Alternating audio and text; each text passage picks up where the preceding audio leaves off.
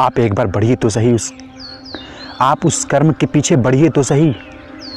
एक बार हौसला दिखाइए तो सही। आप नौकरी करते हैं वैक्सीनेटर की, या जॉब के लिए अप्लाई करने वाले हैं, या फार्म भर भर के थक चुके हैं, निराश मत होइए। अरे, एक छोटा सा दुकान खोल लीजिए। मैं तो यही कहूँगा, आप मुझे बड़ा भाई समझते हैं या छोटा भाई समझते हैं। जीवन में कुछ भी करना हो, दिल से कीजिए। और जिस काम में आपका मन लगे ना, वो कीजिए। क्योंकि जिस काम में आपका मन लगता है, वो काम आप पूरी एनर्जी के साथ करते हो, पूरी ताकत के साथ करते हो।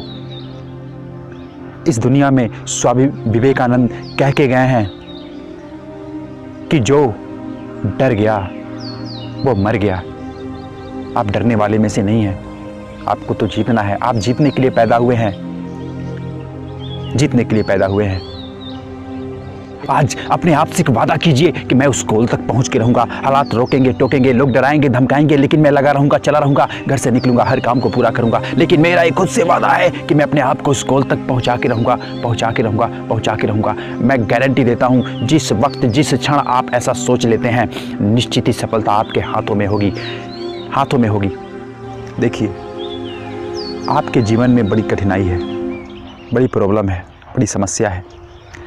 लेकिन बात कुछ ऐसी है ना, कि ये सिर्फ़ आपके जीवन में नहीं है, ये हर किसी के जीवन में है।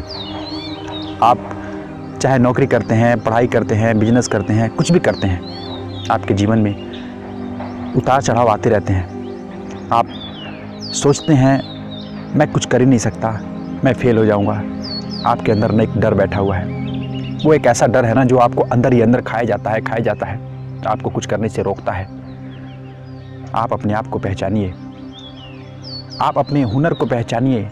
एक बार अपने लक्ष्य की ओर आगे बढ़ने की कोशिश कीजिए। निश्चित ही सफलता आपको मिलेगी। ज़रूर मिलेगी। किसी में इतना दम नहीं है कि वो आपको रोक सके। आपके अंदर इतना पावर है, आपके अंदर इतना एनर्जी है, आपके अंदर इतना ताकत है। आप चाहे तो हर एक मुकाम को हासिल कर सकते हैं। क्योंकि हम लोग इंसान हैं और इंसान में सोचने और समझने की ताकत होती है। लेकिन क्यों हम हार जाते हैं? क्यों सोचते हैं कि मैं कुछ कर ही नहीं सकता? क्यों सोचते हैं कि मुझसे बेटर तो वो है? हम एक दूसरे से कंपटीशन में कंपेरिज करने लगते हैं। मित्र, ये ज़िंदगी आपको जितनी बड़ी दिखती है, उतनी बड़ी है नहीं, बहुत छोटी है। न जाने इस धरती पे पता नहीं कितने लोग आए और चले गए। कितने लोग आए और चले गए। लेकिन आप उनमें शामिल मत होइएगा। मैं आपको ये कहूँगा, आप अपने अंदर के हुनर को पहचानिएगा। जिस काम में आपका इंटरेस्ट है, जिस काम आप दिल से करना चाहते इसको ढूंढ रहे हैं आप। आपकी माँ, आपके भाई, आपके बहन, आपके पिताजी, कोई साथ नहीं देने वाला है। आपको अपनी लड़ाई खुद लड़नी है। आपको ये जंग अकेले ही जीतना है। बात समझ में आ रही है? यहाँ पे अगर लग रही है तो वीडियो को एक बार लाइक कर दो और मेरी बात पूरी सुनो। मैं कहना क्या चाहता हूँ? हिंदू हो, मुसलमान हो, चाहे कोई भी हो चाहे सिख हो, ईसाई हो, किसी भी धर्म को मानते हो, किसी भी जाति से हो, लेकिन सबसे पहले आप इंसान हो और इंसान होने का सबूत और कहीं नहीं मिलेगा। आपको यहीं पे, इसी मिट्टी में, इसी ज़मीन पे, इसी धरती पे आपको देना होगा। और हाँ मरने वाले की लिस्ट में यदि आप शामिल होना चाहते हैं तो उससे पहले कुछ ऐसा कर जाइए कि दुनिया बनना आपके जैसा चाहती है, आपके जैसा बनना चाहे। आप कुछ ऐसा कर जाइए कि दुनिया आपके जैसा बनना चाहती है।